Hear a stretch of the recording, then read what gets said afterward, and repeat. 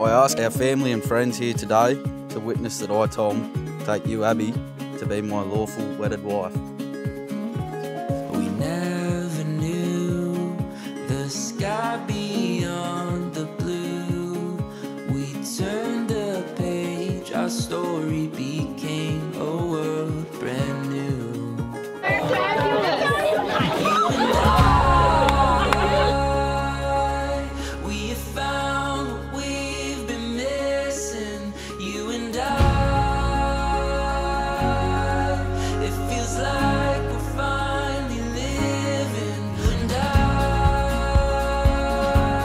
Marrying you today is the greatest honour. I love you from your toes to your nose.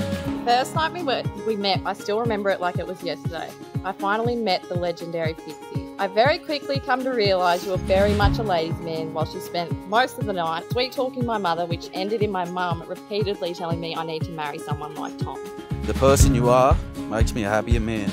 Your kindness, love, and forgiveness, I am forever grateful for. Ever since that night, we have been inseparable. But it didn't matter how good or how horrible those moments were. You stood behind, beside me, holding my hand, assuring me that it was all going to be alright. My promise to you is to stand by your side through the hard times, and I will be loyal to you emotionally and physically for the rest of my life. I promise to love you with my entire heart. I promise to wake up every day for the rest of my life and choose you.